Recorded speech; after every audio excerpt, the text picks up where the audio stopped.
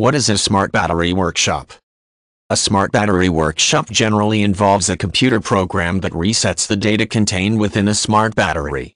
The program typically functions when used in conjunction with what is referred to as a standard 12C parallel port adapter, which connects the battery to the computer through an electronic relay.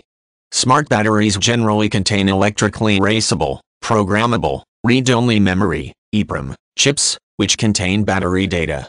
When this data is not synchronized with the actual energy level of the battery, under or overcharging might occur. The Smart Battery Workshop corrects these settings. Different versions of the Smart Battery Workshop are readily available over the internet. The website for each program generally specifies which devices are compatible with the particular Smart Battery Workshop. The program does not usually require persons using the Smart Battery Workshop to have an extensive knowledge of electronics or computer programming. Persons may purchase the appropriate parallel port adapter, download the program, and connect the battery to the computer through the adapter. Users with knowledge of basic electronic devices can construct the parallel port adapter, using inexpensive materials, in under an hour. The battery is connected to the adapter, which is connected to the computer. The program is then initiated. By accessing the EEPROM reset window in the program, the user can choose the reset function, automatically resetting the internal codes of the battery.